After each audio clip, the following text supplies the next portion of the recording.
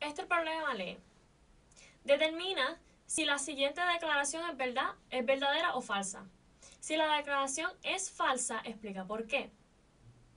Entonces nos dan este problema. 2, 3, 5, 6. Uy, coma. La es un set, subset de 1, 2, 3, 4 y 5. Ok.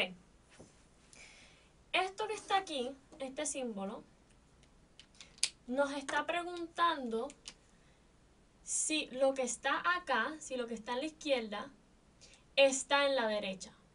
Eso se llama, en, bueno, en inglés, un subset. Y en español, un subconjunto. So, cuando usted este, oiga que el maestro le diga, oh, si esto es este, un subset de esto, este, significa que te está preguntando si todo en su totalidad que está en la izquierda está también en la derecha. No importa el orden, no importa si la derecha tenga más números, pero sí tiene que tener este, por lo menos lo mismo. Por lo menos lo mismo. ¿Ok? Este, so vamos a ver. ¿Tenemos un 2? Sí. Aquí tenemos 2.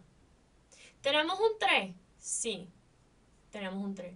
¿Tenemos un 5? Sí. Pero aquí yo no veo 6. O sea que no todo que está en la izquierda está en la derecha. Y eso significa que nuestra contestación es falsa. ¿Ok? Ahora, como es falsa, tenemos que este, explicar por qué. ¿Por qué? Porque lo que está, no todo lo que está en la izquierda está en la derecha.